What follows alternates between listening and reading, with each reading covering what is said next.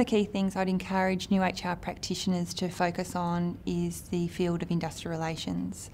It's a continuing growing and developing area as the various different uh, political parties come into play. It's also an area that we find very difficult to recruit for. The other key area I'd encourage people to focus on is change management and organisational development.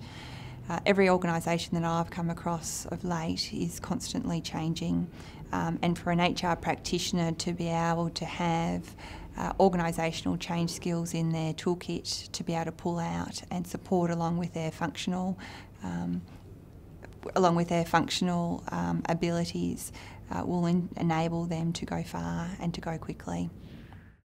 Understanding eh, the financial drivers of a business, understanding how to you know, look at a balance sheet, look at a P&L, and for me, that first and foremost is, is a critical component.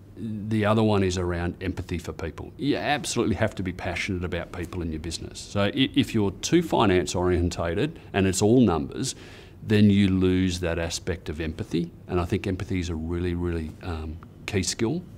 The other final one for me is problem solving. And and that's the ability to be able to let go of your bias and your view that this solution that you might have delivered in the past will be the answer for your current problem. And so individuals that have that ability to be able to work through a problem, and it doesn't matter if the answer is right or wrong, but I think to be able to see it for what it really is rather than what they think it should be uh, is a critical component for people in, in terms of skills that an HR professional needs, you've got to be able to do the basics. Those are sort of the table stakes. If you don't get those right, um, you've really got no, uh, no entry into the party.